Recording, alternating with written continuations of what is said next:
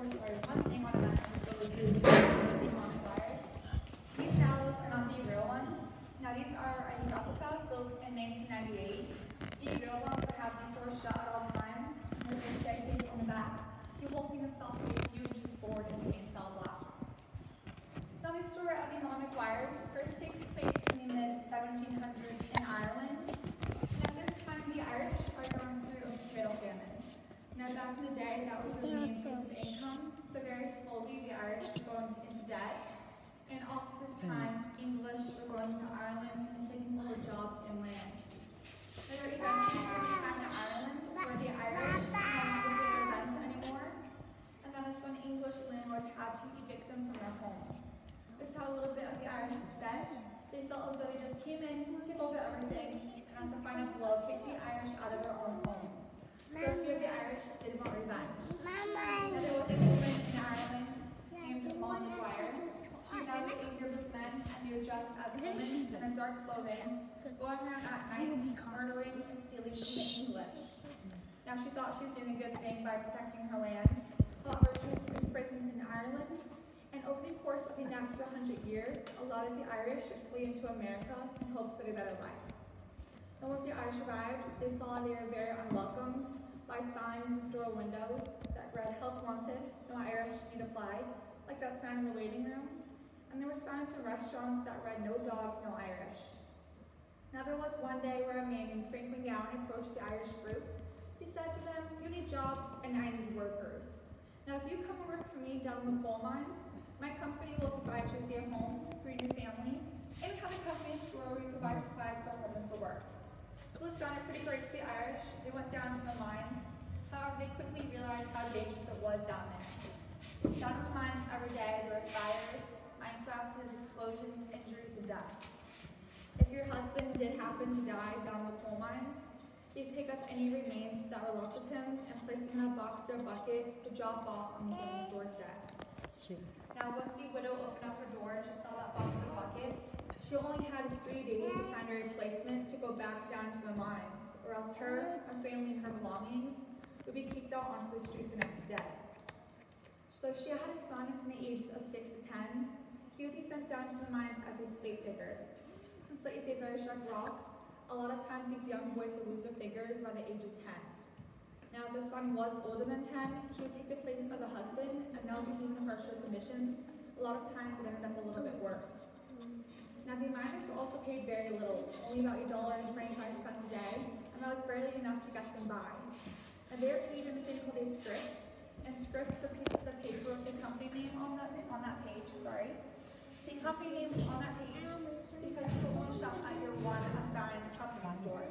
If you did try and shop anywhere else, they would be able to notify your boss because of the brand. You would then be immediately fired. So since you only shop at that one company store, you overpriced all the supplies there. At the end of the week, you were in debt and you owed money to the company. And then Franklin Gowen cut his miners' pay by 10%. And this is when the miners actually went on strike in 1874. Now this only lasted a couple of months because they ran out of money quickly because their families were becoming ill. So they then went back to Franklin Gowen to beg for their jobs back. And he did eventually give them all back their jobs. As a punishment for leaving in the first place, he cut another 10%.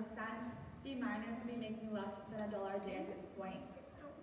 Now, meanwhile, a lot of violence is breaking out down in the coal mines. Bosses were going missing, they were disappearing. They're winding up being killed. Now, Franklin Gowen suspects the Irish, so he sends down a, a spy by the name of James McFarlane. Now, he is down in the coal mines for two and a half years, collecting information on all the miners. At the end of his term, he then reports back to Franklin Gowen with a list of 22 men who he believes is suspicious. Now, these men are up on a wall today. They were nicknamed the Molly Maguires because similar to what happened in Ireland about 100 years prior. Now, eventually, Franklin Gowen put all 22 men on trial. However, the jury was very unfair. After the jury couldn't speak or understand English, there were no women, no Catholic, no Irish, no minors, and one of the prosecuting attorneys was Franklin Gowen himself. So whether those 22 men were really guilty or not, they were all sentenced to be hanged. Seven of them were sentenced to be hanged here. The first hanging was on June 21st, 1877. John Donahue, Michael Doyle, Evan Kelly, and Napson Campbell. Two guards place white hoods over the faces and bring them up the back staircase and make them face each other.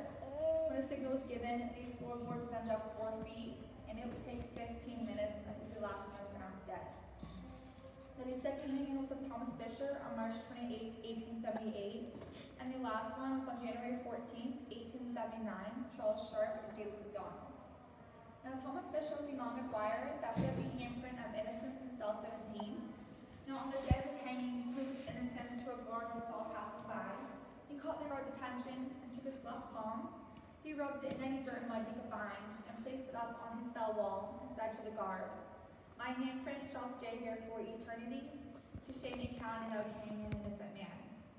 Now, later on that day, he was hanged like scheduled. The next day, the guard was sent into a cell to clean up his belongings and the handprint. However, the guard reports back to the warden that the handprint would not wash off. So the warden goes into cell 17, tries to scrub it off, the handprint comes back. Paint over it, and it comes back. Plaster over it, and it comes back. Now eventually the warden got so fed up with the handprint that he knocked out that section of the wall and had it replaced. Oh. However, the next morning when he came downstairs, looked in cell 17, he had found out the handprint had reappeared overnight. Now, some scientists from Wilkes University, which is a local college to us, about 100 years ago, they wanted to come in and test it for traces to see what it Where's was your really made out of. The only result they got back was white paint when he had previously tried to cover it up Charles Neist was the last warden to actually be living in the jail. Uh, on his last day, he decided to answer a few questions from the media. Me and asked him, Do you really believe in the handprint in cell 17? Charles Neist said to that man, You don't believe in it, and I most certainly do not believe in it. But yet, there it is on my cell for you all to see today. So, as with Regard, I with one final question, uh, and that is, do you believe in it?